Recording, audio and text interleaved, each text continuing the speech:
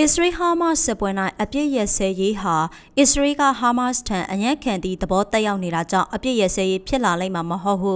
အော်တိုဘာ30ရက်မှာအစ္စရေးဝန်ကြီးချုပ်ဘင်ဂျမင်နေတန်ယာဟုကထုတ်ဖော်ပြောကြားလိုက်ပါတယ်။လူသားချင်းစာနာမှုအကူအညီများရောက်လာတဲ့ဆိုတော့လေဂါဇာပြည်သူများ၏လိုအပ်ချက်များကိုဖြည့်ဆည်းပေးရန်မလုံလောက်ဟုကုလသမဂ္ဂကတတိပေးပြောကြားလိုက်စဉ်အစ္စရေးဝန်ကြီးချုပ်ကအပြစ်ခက်ရစဲရေးဖြစ်လာလိမ့်မှာမဟုတ်ဟုပြောကြားလိုက်ခြင်းဖြစ်ပါတယ်။အစ္စရေးဟာ အစ္စရေးသမိုင်းမှာအဆိုးရွားဆုံးတိုက်ခိုက်ခံရမှုဖြစ်တဲ့အော်တိုဘာလ9ရက်တိုက်ခိုက်မှုများကိုတုံ့ပြန်တဲ့အနေနဲ့